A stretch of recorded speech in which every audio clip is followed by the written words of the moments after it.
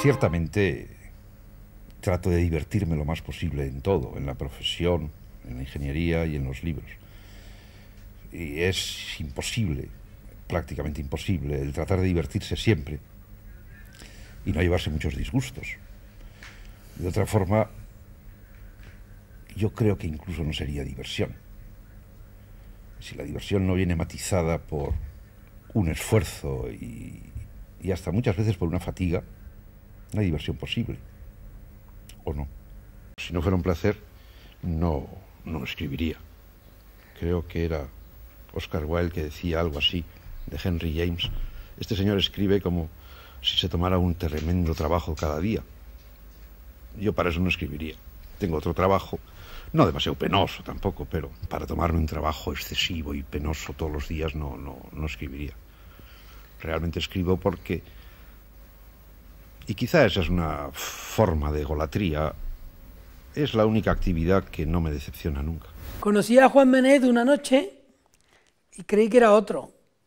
Me lo presentó, eh, creo que Marcos Ricardo Barnatán, en un bar de Madrid al que él iba muchísimo, que se llamaba El Dickens, que se recuerda mucho porque era el bar que estaba enfrente, o el pub, que estaba enfrente del diario Madrid, que dinamitó Franco, eh, dinamitaron Franco y Sánchez Bella, porque había publicado un artículo de Rafael Calvo Serer diciendo que, eh, insinuando que Franco tenía que hacer lo mismo que ya había hecho de Gaulle, retirarse.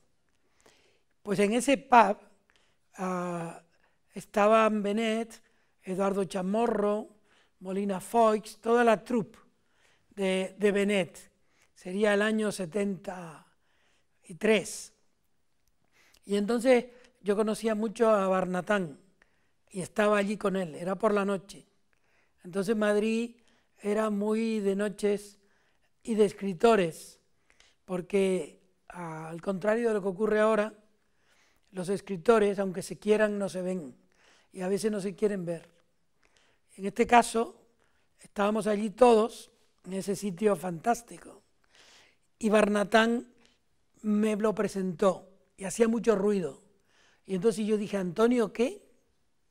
Y claro, eso, mmm, Benet tenía su ego y su alma de escritor ya consagrado, al que todos por allí eh, le dedicaban elogios y, y, lo querían mucho, ¿no? Benet era una persona a la que se le quería mucho, a pesar de que parecía un hombre arrogante y antipático.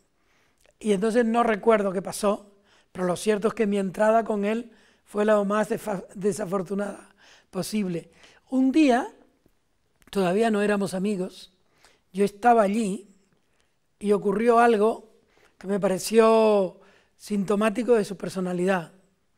Eh, un camarero se insolentó con un inmigrante. En todo caso, era una persona que obviamente no era madrileño y además uh, no era pudiente. Y el camarero le debió decir algo que a Benet no le gustó. Entonces siempre recuerdo que le dijo al camarero, yo a usted no le abono. Y este fue, digamos, el principio de mi conocimiento de Juan Benet. Yo conocí a Juan Benet alrededor de 1980. Una circunstancia muy precisa, la recuerdo muy bien. Era en el, bar del Hotel Suecia, un hotel que ya no existe, que estaba cerca del Círculo Bellas Artes. Y nos presentó Carlos Barral, que era entonces mi editor.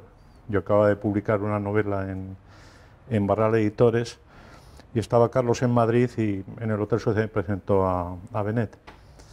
Yo tenía entonces alrededor de 30 años, eh, Juan debía tener 48 y naturalmente me parecía una persona muy mayor.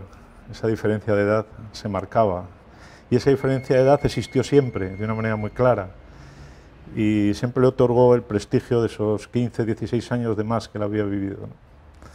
Eh, comimos juntos y con Carlos Barral y en la comida tuvimos una discusión. Fue una discusión, eh, como diría yo, bastante apasionada entre uno y otro. Y curiosamente yo creo que se reforzó un poco la, la relación con eso. Yo entonces vivía en Francia y a los pocos días pues me volví, me volví a, a Aix-en-Provence. Y luego pues le seguí viendo cada vez que yo venía a Madrid. Él fue a verme también un, par de veces a, a Aix-en-Provence. Y bueno, pues fue una, una relación que, que, duró toda la vida. Recuerdo también el tema de lo que discutimos. Eh, no era un tema literario, ni, político, ni de sociedad a pesar de que entonces pues, los temas políticos estaban muy candentes, la transición estaba en marcha, yo desde Francia pues tenía una visión doble ¿no? de, de, de, ser español y al mismo tiempo de llevar ya bastantes años fuera. Y la discusión en realidad fue sobre el desembarco en Normandía, una cosa que no tenía nada que ver con la literatura y con la actualidad, como digo. Era un tema que los temas militares eran una especialidad de, Juan y entonces se encontró con un muchacho joven que también se interesaba por esos temas. y nuestra discusión de aquella, de aquella comida versó sobre la oportunidad o no del desembarco en Normandía. Y fui un día, me interesó aquello tanto que fui buscando libros de Kafka, lo recuerdo muy bien. Y hojeando, se me cayó un libro que era de Faulkner, se llamaba Mientras yo agonizo. Y se cayó, cayó abierto. La página que cayó era una página casi en blanco que decía Bardaman, mi madre es un pez interesó, era un libro barato, de la editorial Santiago Rueda. Esa es la historia que es, es la historia de una familia que transporta el cadáver. el cadáver de su madre a lo largo de un camino, vadean un río, y todos los miembros de la familia se van intercalando sus monólogos. Aquella página que decía mi madre es un pez me llamó tanto la atención que me lo llevé a casa y lo leí. Y lo leí en aquella noche, yo creo. Luego lo de menos fue la anécdota, lo de, mi madre es un pez, pero el libro me, apasionó. Y encontré al poco tiempo, buscando en las mesas de, de Espasa Calpe, la edición de Santuario. Y leí Santuario, entonces me dejó todavía. Y aquello fue subiendo y fue subiendo, y libro de Faulkner que cabía en mis manos, no solo lo leía, lo estudiaba, lo, lo, lo, lo. Yo creo que aquel santuario de Faulkner que valía siete pesetas, del Austral debí comprar pues 100 ejemplares probablemente, para regalarlo a los amigos. Nadie lo leía, pero yo lo regalaba yo era un verdadero propagandista.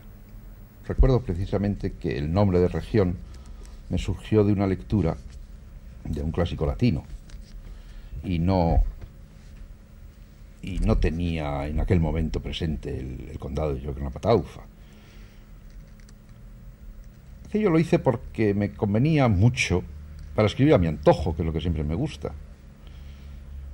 Esa es una novela que la hice en muchas fases. Yo creo que la primera, el esbozo de esa novela es en aquellos primeros años cuando te digo estaba estudiando eh, la carrera de ingeniero, pero luego, en los primeros años de profesión, estaba yo tan ocupado y tenía tanto trabajo en el campo que no pude escribir. Solo al cabo de ocho años, estando construyendo un pantano en el norte de España, en el noroeste, en la provincia de León, pues tuve tiempo suficientemente, cantidad suficiente como para ponerme a escribir con una cierta asiduidad. Y entonces escribí Volver a esa región con el horizonte que yo tenía ante los ojos en aquel momento, que era el horizonte de la, de la vertiente leonesa de la cordillera cantábrica, en el río Porma.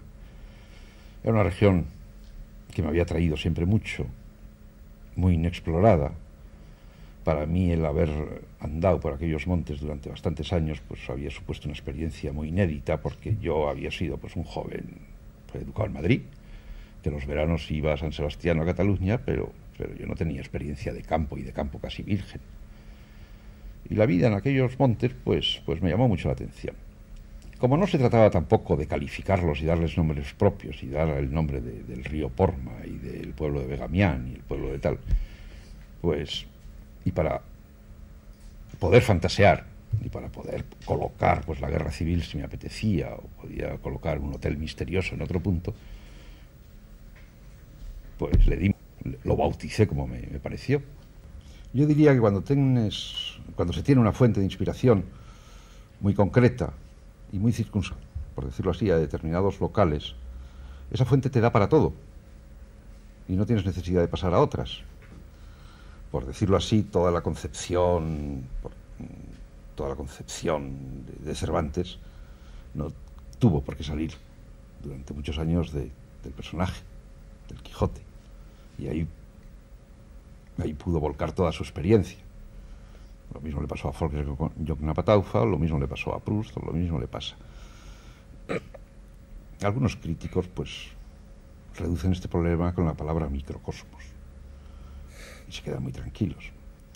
Lo cierto es que al apoderarte de un ámbito, en ese ámbito, si tienes libertad de acción y si ese ámbito sigue suministrándote fuente de inspiración, en ese ámbito se puede poner todo.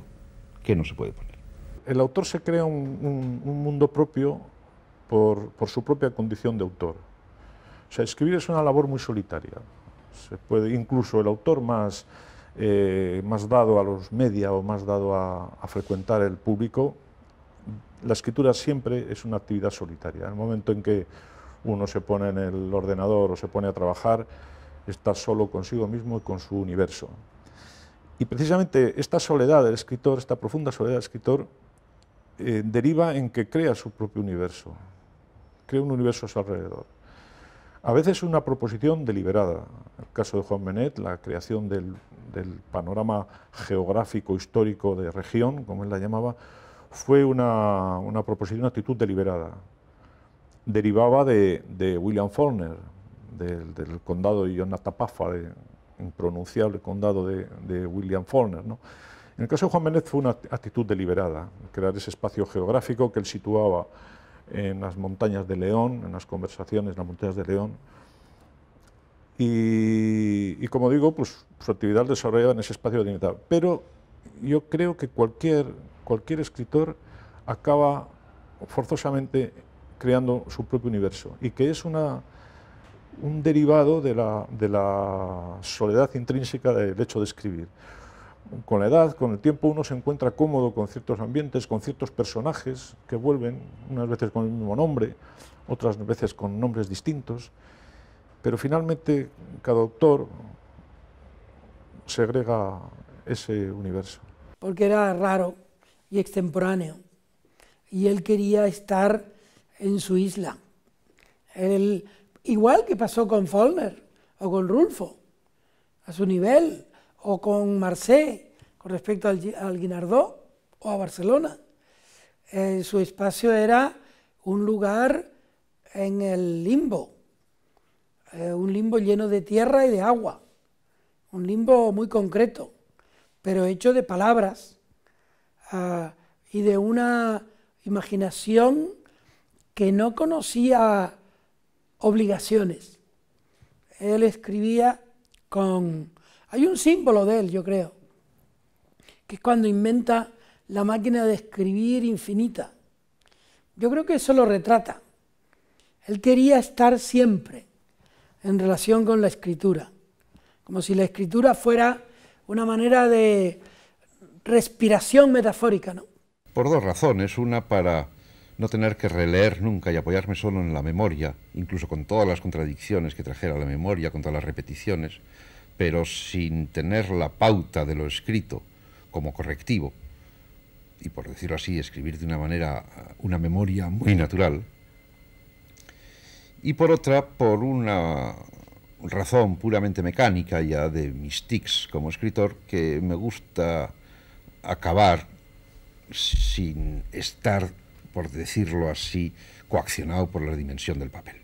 Lo hice toda la novela así, cuando la acabé o consideré que estaba terminada, la desenrollé, tenía ciento y pico metros, la extendí por el pasillo de la casa, la leí a cuatro patas y luego la pasé a folios y al editor y a la, segunda, el segundo diseño, la segunda redacción fue, ya la hice en folios normales y así se la di al editor. El elude la, la, la censura con la única arma posible en un creador literario que no se quiere plegar a, los inconvenientes de un régimen tan estricto y opresor, con ingenio. Hay tres libros censurados ahí. Volverás a región, nunca llegarás a nada, primero, y una meditación. Pero son frases censuradas, frases directas, en general vayan censuradas. Te diré, muchas veces he venido a sospechar que aquella censura tenía talento literario. Porque cuando considere que había que quitarlas, considere que estaban bien quitadas. Pero nunca he tenido grandes problemas. Y yo me reafirmo siempre en lo mismo. El individuo que quiere luchar contra la máquina del Estado, y la censura es una máquina del Estado, en ese sentido, como él pone sus armas, siempre le gana. La máquina del Estado tiene unos métodos, pero esos métodos se los conoce. Y el individuo, para hacer un libro, esos métodos los puede burlar cuando quiere y como quiere. Yo creo que la, la cuestión del exilio para los intelectuales, para los autores españoles, no está correctamente planteada. Los, eh, los escritores que se quedaron en España o que vivieron la posguerra española o el franquismo tuvieron una vida muy rica y muy intensa. Me refiero a, a Benet, pero me refiero también a, a Barral, a Hortelano, a, Viedma, a, a Ridruejo. Una experiencia distinta pero intensa, como digo. Y en realidad la generación mía, yo me exilé en 1969, nosotros ya veíamos el fin del franquismo el franquismo no fue una, un, un, periodo monolítico, era muy distinto el franquismo de los años 40, que yo no conocí, al franquismo de los años 60, que yo fui el que conocí, y, y de hecho el, el, franquismo del que yo me exilé. Eso era muy distinto. Pero la experiencia de un hombre como Juan Benet durante el franquismo no es, no es para nada una experiencia pobre o empobrecedora. Es decir, la, de hecho su obra literaria es una gran obra literaria y se, y se fragua y se escribe en, en, el ambiente de los años 50, de los años 60. ¿no? Mientras que autores que se exilaron y que tal, pues han dado obras mediocres. Eso, creo que el exilio, no, el exilio o, o la permanencia en España no afecta directamente a, a, lo que es intrínseco a la persona, que es el, el genio creador o el talento. ¿Para qué nos vamos a engañar? Un poco más de lectores ya me gustaría tener pero, pero también se tienen sus compensaciones. A lo mejor los lectores, si se forman como una masa anónima, tienen muy poca gracia. Si los lectores siguen siendo unos lectores muy individualizados, que te dan su opinión muy personal y que, y que no se constituyen como el gran público, pues, pues está muy bien. Lo que pasa es que debo tener 300 lectores. Si pudiera tener 1000, pues, pues me sentiría mucho más a gusto. Ah, ya tener 100.000 no. Eso, eso debe ser muy aburrido. Protesto de la inexistencia de lectores ingenuos que van al libro sin otro interés que el de irse con él. De la misma manera que yo me divierto escribiéndolos, creo que el lector al que yo aspiro es un lector que debería divertirse leyéndolos. Y no este lector que lo que hace de la mano de los críticos y de los profesores e incluso de los estudiantes es sacar provecho de ellos, provecho, digamos, de carácter profesional. Lo que tiene es una complicación su lectura que no deja indiferente.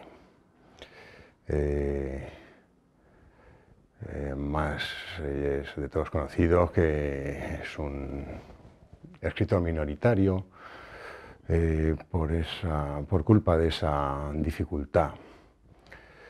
Eh, eso es un, un, trago que hay que eh, echar voluntad para vencer y cuando fuerzas la máquina y lo consigues, pues te da una recompensa que cualquier otro tipo de literatura es difícil que te dé.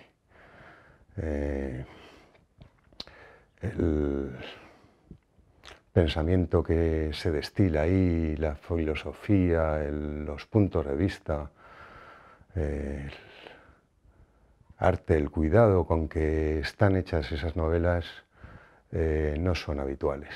El estilo de Benet no era complicado. Lo único que exigía Benet, o el estilo de Benet, era que lo leyeran. De modo que hay mucho tópico al respecto.